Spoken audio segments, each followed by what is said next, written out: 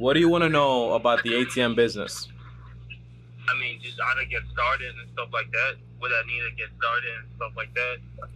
Okay, so I have a full video on it, and the basic idea is you need an ATM. Then you need, for example, like a, a company to handle like all the networking. Then you need also, for example, like the bank accounts. The hardest part to actually get is just gonna be, for example, like the actual bank account because some banks are just like tricky and they don't want to deal with ATMs. But it's just basically, I think in the in the video that I did, I I included the type of ATMs you can actually get. For example, like the models and so on. I included, for example, the company that can provide you for you the ATM and also like the the back office for it because that's how you get everything actually connected and everything like that. And then the bank account that you can actually use, they're just different banks. They're always changing. So I would recommend you just like search up on Google and find out what bank can actually support um, supports ATM business and so on. Does that make sense? Yeah, that makes sense. And what about the LLC and stuff like that? That's just what what where what state are you in? Uh, Louisiana. Yeah, so just you ever applied for an LLC before? No, never. Yeah, so it's it's nothing different from applying from a normal LLC. If you want, you can use LegalZoom. That's an online service. You can use also ZenBusiness. That's also like an online service. Or if you just don't want to do that, you can just, for example, speak to a CPA and just have them file everything for you, like an accountant and so on. Um, but it's fairly, Like, they're gonna charge me to do that. yeah, They're gonna charge me to do that. Well, I could just do it myself. Huh? Yeah, you could do it yourself. Um, but if you've never done it before and you're not an accountant and you don't have any experience with it, if you want to do it, just search up on Google how to how to file an LLC. Some things, by the way, when you're doing a business, um, just because you can you can do something doesn't mean you should. Because sometimes, for example, someone can do it like better. You can your time can be used for something else.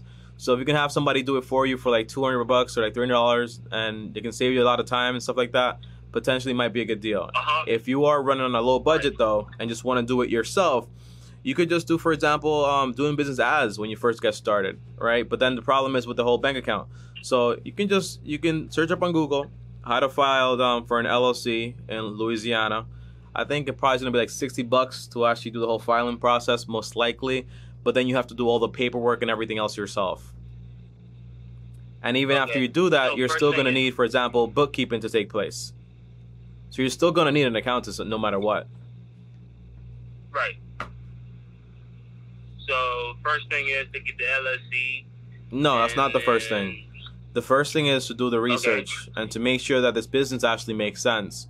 Now, as you know, um, ATMs are great. For example, you put them in one spot. If you have a lot of like foot traffic, you can get people to actually use it and have an inconvenience or whatever. You get some money. However, it is a dying business, especially today with like um, for example, like Apple Pay, Google Pay, and all these other forms of payment. Right. So the deal is that it's more like a business that you kind of operate and then once it starts like flowing through makes you some money maybe you just want to dump it and just sell to somebody else so why do you want to do the atm business exactly I mean, just to get like you know, I just want to try it just to see how it goes like that. I, I'm just yeah, I'm just not doing this for like a main income and none of that. I'm just why I just want to see how. what do you works. what do you do for money right now what's your job Uh, right now I have a job.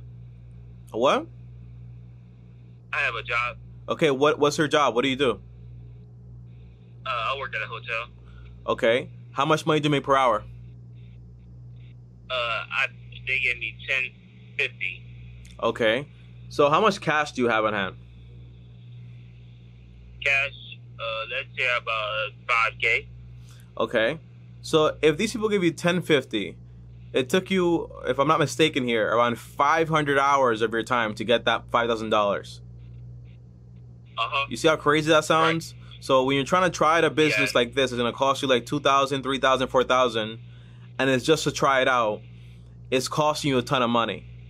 It's just that me personally, for example, I would be using my time because you have time right now and my money towards learning a new skill that can potentially just make me more money. Because an ATM is a slow business. So even if it does work out and you put it in one location, it might make you, for example, 200 300 $400 like um, per location per month. Then you split it with, for example, with the person. But if it's a business that's going to be going down and down and down, it might not be the best for you. Now, if you're making $10.50 per hour, right? That's what you're making? Yeah. it's just, you don't make you don't make enough money, right? You don't make a lot of money. So what I would do is basically I would focus on locking down a new skill. Whether, for example, that's trade school, whether, for example, that's a license, whether, for example, that is college, whether, for example, that's a course.